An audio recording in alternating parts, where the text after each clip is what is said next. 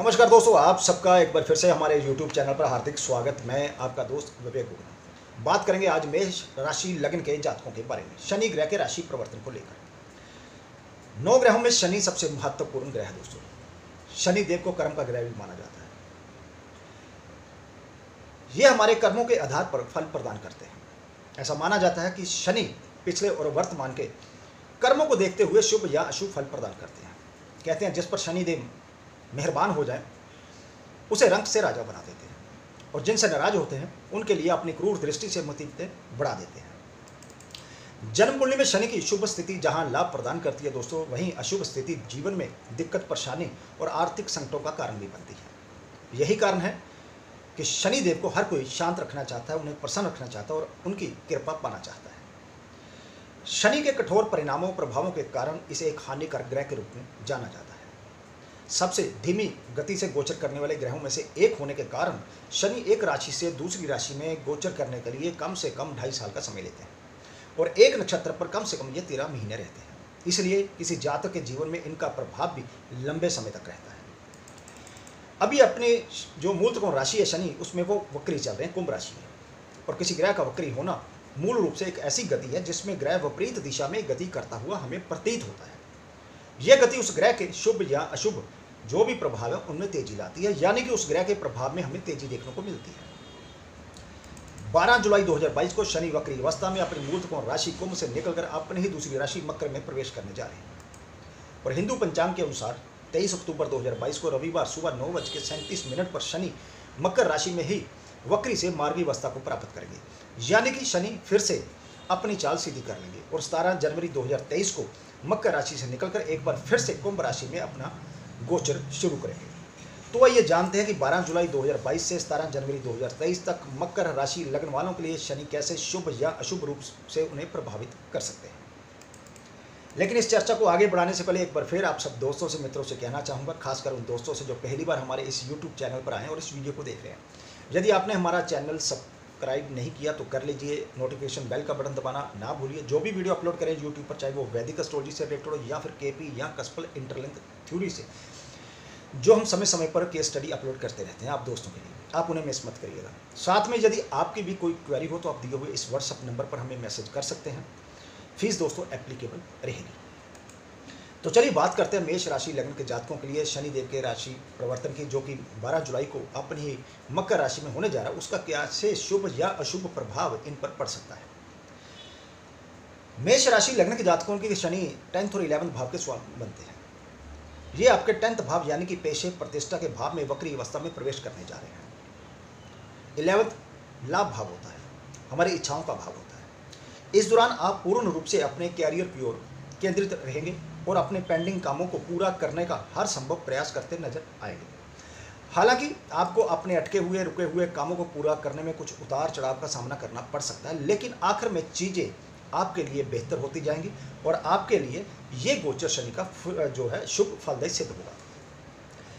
12 जुलाई 2022 से 17 जनवरी 2023 तक शनि जैसे कि हमेशा अपने वीडियो में कहता हूँ, चाहे हमारा जन्म चार्ट हो या फिर गोचर की बात करें, ग्रह जिस राशि में दोस्तों गोचर करता है, उसमें पड़ने वाले नक्षत्रों का परिणाम देने के लिए मजबूर होता है। और यहाँ पर भी इस पूरे गोचर के दौरान शनि जो है मंगल के धनिष्ठा नक्षत्र की यात्रा करेंगे। और मंगल मेष राशि लग्न के जो जातक है, उनके चार्ट में सेकंड भाव जो कि धन भाव है, नाइन्थ जो कि भाग्य भाव है, उसके स्वामी बनते हैं। नाइन्थ भाव सबसे बली त्रिकोण भाव होता है दोस्तों। और शनि टेंथ भाव में गोचर करेंगे मकर राशि में तो टेंथ भाव सबसे बली के अंदर होता है। मतलब टेंथ भाव का स्वामी नाइन्थ भाव के स्वामी के नक्षत्र पर गोचर करेगा। और जब भी किसी चार्ट में नाइन्थ और टेंथ भाव के स्वामियों को आपस में कुछ भी तरह से कोई योग बनता हो या संबंध बनता हो तो ये एक राजयोग की श्रेणी में आता है। और मंगल इस पूरे गोचर के समय आपके चार्ट में मेष, वृषभ, मिथुन राशि में गोचर करेंगे। और ये राशियाँ आपके सेकंड थर्ड और फोर्थ भाव में पड़ती हैं। आर्थिक दृष्टिकोण से देखा जाए तो यह गोचर आपके लिए बेहद शुभ रहने वाला दोस्तों। यहाँ पर यदि देखा जाए, आप अपने खर्चों को पूरा करते हुए अपनी आर्थिक स्थिति को संतुलित बनाए रखने में कामयाब रहेंगे और आप सेविंग करने में भी कामयाब रहेंगे। क्योंकि 12 जुलाई से 10 अगस्त तक मंगल राहु के साथ आपके सेकंड भाव में रहेगा, इसलिए घर के परिवार में जो घर के सदस्य हैं या आपका जो परिवार है, बातचीत करते हुए आपको अपने शब्दों का ख्याल रखना होगा। नहीं तो परिवार के सदस्य दोस्तों आपसे नाराज़ हो सकते हैं 10 अगस्त तक, जिसका असर आपके घर में सुख शांति पर पड़ सकता है। इस दौरान आप घर की मरम्मत कराने की प्लानिंग बना सकते हैं, या जो जातक अभी तक कोई प्रॉपर्टी खरीदने की प्लानिंग बना रहे थे, इस दौरान उनकी ये ख्वाहिश पूरी हो सकती है। इस समय लोहा, इस्पात या माइंस और गैस के स्टॉक में लॉन्ग टर्म इन्वेस्टमेंट करना आपके लिए लाभदायक लाभकारी सिद्ध होगा दोस्तों। अपने पेशेवर जीवन में आप कई अच्छे बदलाव लाने की दिशा में केंद्रित होकर काम करते नज़र आएँगे। आपकी यही सच्ची निष्ठा और लगन को देखते हुए आपके बड़े अधिकारी भी आपका सहयोग करेंगे। नौकरी पेशा जातकों के लिए ये इस दौरान जो भी गोचर होगा 12 जुलाई से लेकर 17 जनवरी 2023 तक ट्रांसफ़र के पूरे पूरे योग बनेंगे। या इस दौरान आपको अपनी नौकरी में बदलाव करने का भी अवसर प्राप्त हो सकता है। कुछ लोगों के लिए प्रमोशन के योग भी यहाँ पर बनते दिखाई दे रहे हैं। व्यापारी पेशा जातकों की बात करें तो इस समय आप अपने व्यापार को बढ़ाने की दिशा में काम करते हुए कोई व्यापारिक एग्रीमेंट कर सकते हैं, जिसका भविष्य में आपको आर्थिक लाभ होगा। आप अपनी सेवाओं, योग्यताओं के ज़रिए संबंधित मार्केट में अपनी पैठ बनाने में कामयाब भी हासिल करेंगे दोस्तों।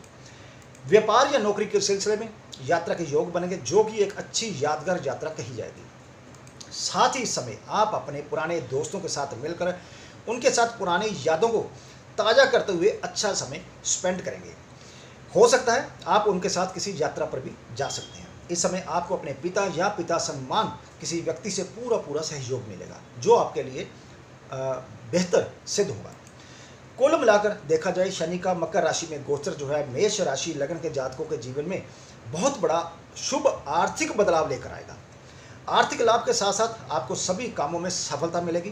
कह सकते हैं, शनि के इस गोचर के दौरान आपको चौतरफा फ़ायदा होने वाला है दोस्तों। तो दोस्तों, ये थी जानकारी मेष राशि लगन वालों के लिए शनि के मकर राशि में गोचर करने की। जानकारी अच्छी लगी तो प्लीज़ वीडियो को लाइक कीजिए शेयर कीजिए।